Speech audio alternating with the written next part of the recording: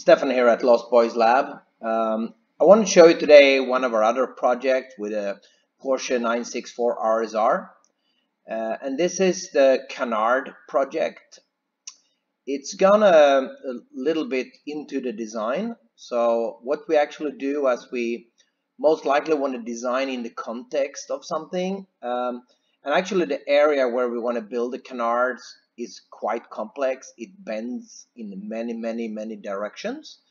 Um, so actually having the chassis or the part you want to work on 3D scanned, it's, it's almost an absolute must. So what we actually do is we, we start with 3D lines and we work with the 3D splines to basically find our way through the whole uh, uh, chassis. So we have something align and build on.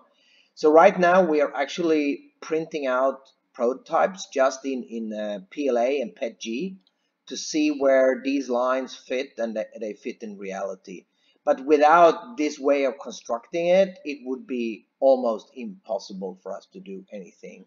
Uh, we can also go in and, and cut things through and do different type of analysis of the body shell. Um, it's actually quite convenient uh, as you can also modify this as you go along. So we can we can look through a certain part. So we do sections and section analysis through the body parts.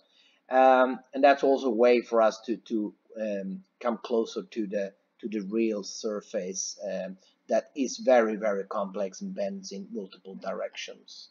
So um, what we then do is we work with surfaces. So we do different type of surface geometries. Uh, to build the best available canard we can do to get it streamlined and, and properly aerodynamic.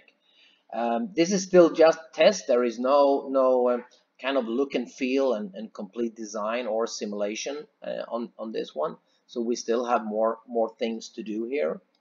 Um, what we then do is we transform everything into a body, which is more of a solid state, and that solid is right now what we're 3D printing and testing. So that goes through the first initial tests. So when we get a little bit further, um, we have the kind of the vision that we're going to use recycled PET bottles as an internal core uh, in this canard. And then exterior will then be something like um, normal carbon fiber, uh, what we will use. So that's at least the goal. Um, so let's see how far we can pull this project and we will be back with more.